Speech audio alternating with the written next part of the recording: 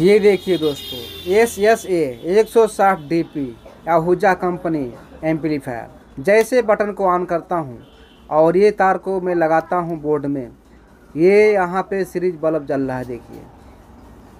Series bulb जल जा रहा है। और जैसे इसको तार छोड़ा देता हूँ, बंद हो जा रहा है। फिर से लगाता हूँ, फिर से जल जा रहा है। ये समस्या देखिए दोस्तों। यदि मैं तार को डायरेक्ट में लगाता हूँ वोल्टेज 220 वोल्टेज पर बिना सीरीज़ के तो अंदर से धुआँ उठने लगता है दोस्तों। तो दोस्तों, इसके अंदर मैं आ चुका हूँ, प्लेट को दिखा रहा हूँ और ट्रांसफार्मर भी देख लीजिए।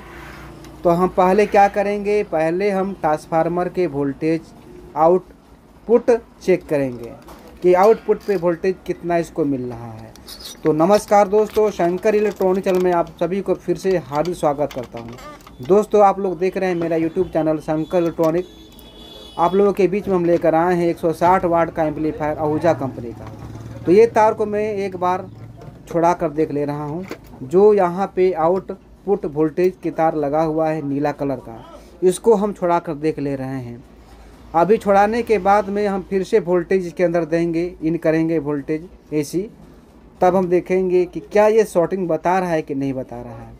यदि छुड़ाने के बाद ये समस्या से दिखा दे रहा है तो हम और आगे बताते हैं आपको। ये देखिए तार ये। ये तार जो है ए सी का, जो कि अंदर वोल्टेज ट्रांसफार्मर में इन हो रहा है। ये ट्रांसफार्मर में ये तार अंदर जा रहा है तो ये इन हो रहा है।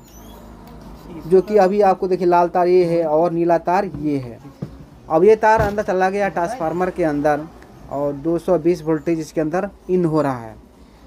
लेकिन इन होने से पहले सीरीज़ बल्ब जलने लगता है। मतलब अंदर वोल्टेज चला जाता है और ये सीरीज़ बल्ब जलने लगता है। तो अब क्या करेंगे? हम ये आपको दिखा रहे हैं कि तार देखिए, ये ट्रांसफार्मर का इन वोल्टेज 230 वोल्टेज 220 वोल्टेज जाता है और आउट निकालता है। तो आउट जब निकालता है, तब हम वोल्टेज को देखते हैं कि क्या ये ट्रांसफार्मर निकाल रहा है कि नहीं निकाल रहा है। अब यहाँ पे हम देख रहे हैं।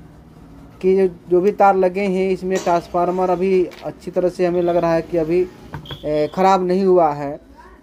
अब ये तार मैंने छोड़ा दिया हूँ और एक बार हम फिर क्या करेंगे, इस तार को हम मेन सप्लाई देंगे फिर से सीरीज़ में करके। अब यहाँ हमने सीरीज़ में कर लिया है और फिर देखते हैं। देखिए, जैसे इसको मैं ऑन करता हूँ बल्ब जल जा रहा है सीरीज़ वाली। जैसे ऑन करता हूँ बल्ब जल रहा है सीरीज़ वाली। देखिए, ये जल रहा है सीरीज़ बल्ब सीरीज़ का बल्ब जलने लगता है, देखिए पूरा। ये पूरा जलने लगता है। दोस्तों, हमने वीडियो को रोक करके एक तार छोड़ा ले रहा हूँ, लाल वाला। अब देखिए लाल तार हमने छोड़ा लिया। अब यहीं पर लगा था। लेकिन अब क्या करेंगे, हम यहाँ पे वोल्टेज नहीं चेक करेंगे। अब हम चेक करेंगे ट्रांसफार्मर कि ट्रांसफार्मर सही है कि ख़राब है। तो पहले हम देखते हैं ट्रांसफार्मर के जो सप्लाई वाला तार है, जहाँ सप्लाई तार अंदर जाता, इन होता है। तो देखिए यहाँ पे क्या बता रहा है। यहाँ पे ज़ीरो पॉइंट ज़ीरो टू ऐसे बता रहा है। ज़ीरो पॉइंट ज़ीरो ऐसे बता रहा है दो। तो ये दिक्कतें क्या बता रहा है कि हमने ट्रांसफार्मर को तार भी छुड़ा लिया है। अब क्या करेंगे, ट्रांसफार्मर अंदर से लग रहा है कि शॉर्टिंग है। क्योंकि ये हमने देख लिया है कि कोई कंटिन्यूटी नहीं बता रहा था। ज़ीरो पॉइंट ज़ीरो टू ऐसे बता रहा था। अब देखिए छुड़ा कर लगा रहा हूँ। अब ऐसी वोल्टेज दे रहा हूँ। देखिए, ये बिल्कुल शॉर्ट मार रहा है। जैसे मैं लगा रहा हूँ, चिपक जाता है। ट्रांसफार्मर के तार में चिपक जा रहा है। देखिए, ये देखिए, चिपक जा रहा है। बिल्कुल ये शॉर्ट मार रहा है। बिल्कुल बार बार शॉर्ट मार रहा है तो दोस्तों, हम यहाँ पे क्या करेंगे? अब इसको हम यहाँ रिपेयरिंग नहीं करेंगे। जिसका मशीन है एम्पलीफायर वो बताया है भाई कि ज़्यादा खर्चा लगेगा तना बनाना। अब यहाँ पर ट्रांसफार्मर ख़राब है। तो कहेगा बनाने के लिए ट्रांसफार्मर लगाने के लिए तो आपको वीडियो दिखाऊँगा। हो सकता है ट्रांसफार्मर लगाने के बाद में और बीमारी और कोई निकल जाए तो वो कहेगा बनाने के लिए तो आपको वीडियो मिल जाएगा देखने के लिए। तो ठीक है मैं वीडियो को बनने के लिए मैं आपको धन्यवाद करता हूँ। वीडियो को समाप्त करता हूँ। जय हिंद, जय भारत, वंदे मातरम। थैंक्स